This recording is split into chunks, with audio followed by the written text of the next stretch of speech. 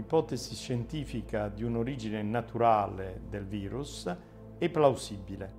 Se si può verificare questa origine naturale, sarebbe la prima volta che un virus chimerico ricombinante, patogeno per l'uomo, è isolato in natura. In realtà questo virus chimerico è una ricombinazione di un virus derivato da una specie particolare di pipistrello e dal pangolino, quindi ricombinante chimerico da due specie diverse che vivono in due nicchie ecologiche diverse e quindi è molto difficile giustificare come queste due specie ecologicamente distanti possano incontrarsi. Per questo si suppone che possa esistere un vettore intermedio che ha assorbito questo virus ricombinante e questo vettore intermedio ha trasmesso all'uomo il virus.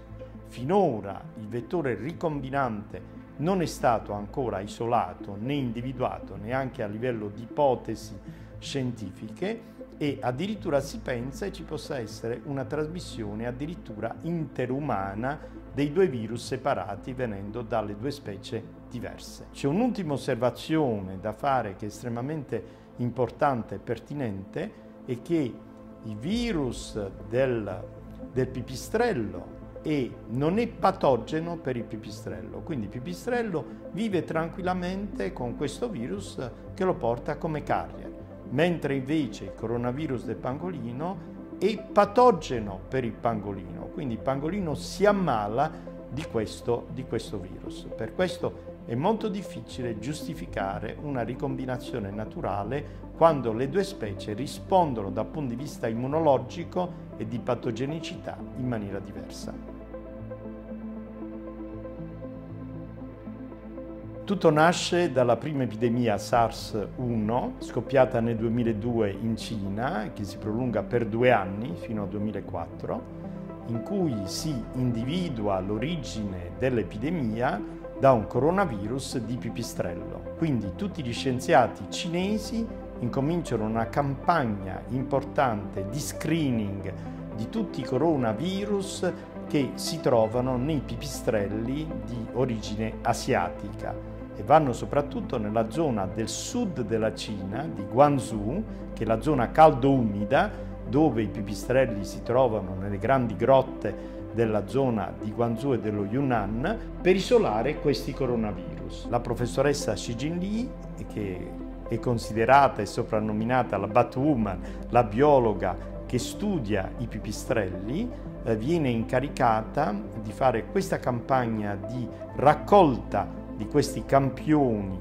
di virus dalle feci dei, dei pipistrelli quindi creare una banca dati di questo tipo. Alla fine di questa campagna che dura due anni e che è sponsorizzata anche da organizzazioni internazionali, la CGD si mette in contatto con il professor Ralph Baric, che è il grande guru della ricerca dei coronavirus negli Stati Uniti, nell'Università in North Carolina, per avere il supporto per poter sviluppare le tecniche di ricombinazione chimerica in vitro in laboratorio utilizzando i principi di gain of function, cioè cambiando, manipolando il genoma in maniera da trovare gli elementi che sono responsabili della patogenicità virale, quindi sia della contagiosità che della virulenza. In questo modo incomincia la storia dei primi ricombinanti chimerici coronavirus SARS-like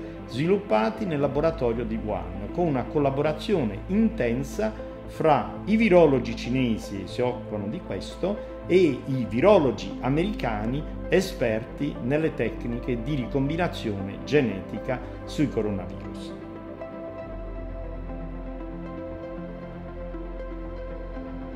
La genesi di questo virus ricombinante chimerico in laboratorio può essere descritta in tre fasi essenziali.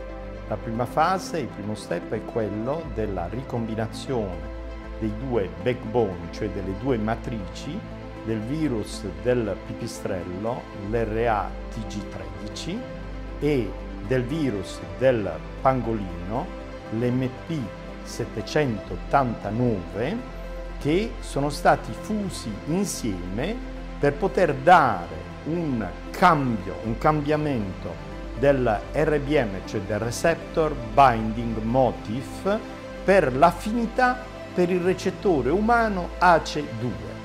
Senza questa ricombinazione non si sarebbe potuto dare una affinità sufficiente a questo virus ricombinante per attaccarsi alla cellula umana. Questo è il primo passaggio.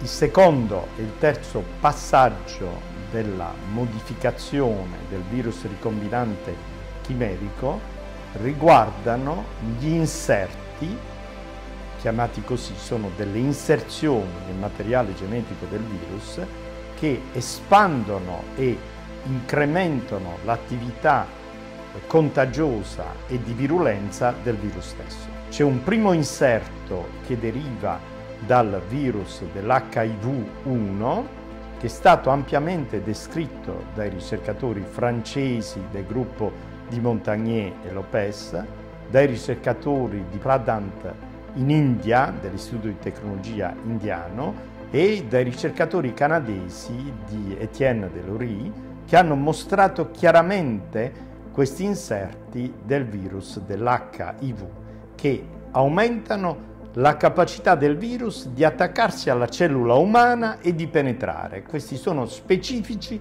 per la cellula umana. C'è un altro inserto fondamentale che agisce non solo sulla membrana cellulare, ma anche nella macchina interna della cellula umana, che è il cosiddetto inserto furinico.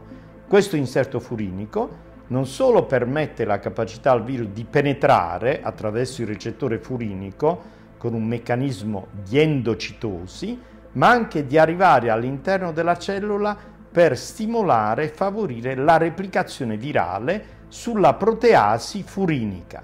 La presenza di questi due inserti esclude in maniera assoluta l'origine naturale di questo virus ricombinante chimerico. L'ipotesi più accreditata è quella di una fuga accidentale, di un outbreak dal laboratorio di Wuhan dei ceppi virali patogeni che si sono dispersi nella popolazione circostante. Tutto questo è comprovato dalle osservazioni riportate dalle intelligence di diversi paesi e dalle testimonianze dei cittadini locali.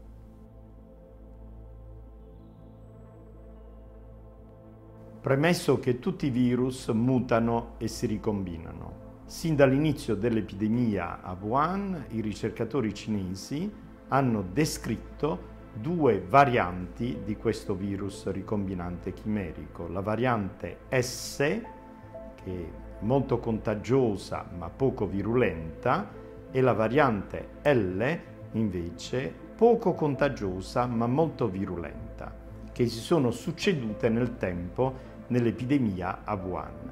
La propagazione nel mondo dei due ceppi virali ha fatto insorgere altre varianti che si sono ricombinate in maniera diversa a secondo degli ambienti geografici, delle nicchie ecologiche del virus. Oggi sono descritte fino a 20 clades, come si chiamano, le varianti che sono persistenti in diversi paesi del mondo con diverse prevalenze. In particolare c'è una variante, la G614D, che è la variante prevalente negli Stati Uniti ed è responsabile dell'epidemia attuale negli Stati Uniti, che mostra una particolarità unica. Il numero delle spike, cioè delle proteine spike, delle antennine del virus, si è, è aumentato quindi aumentando la contagiosità di questo ceppo virale, non la virulenza per ora, ma solo la contagiosità, il che spiega la propagazione del virus in, negli Stati Uniti. Il solo paese che ha la potenzialità di sviluppare il vaccino polivalente è la Cina, che ha creato e possiede la matrice originaria. Tutti gli altri paesi potranno sviluppare soltanto dei vaccini specifici per il ceppo prevalente nella regione di interesse. C'è un'altra possibilità che è quella di sviluppare dei vaccini sintetici genomici che possono coprire le varianti esistenti.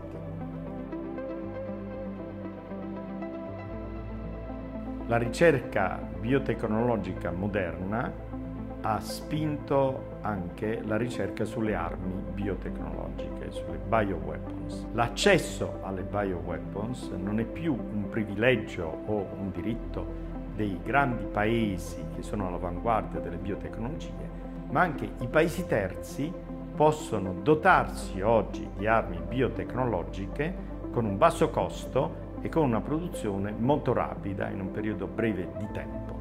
Tutto questo pone un grande problema dal punto di vista etico sull'umanità, se interdire realmente la ricerca sulle armi biotecnologiche oppure se rivedere tutta la legislazione internazionale che regolamenta la Convenzione per le armi biotecnologiche.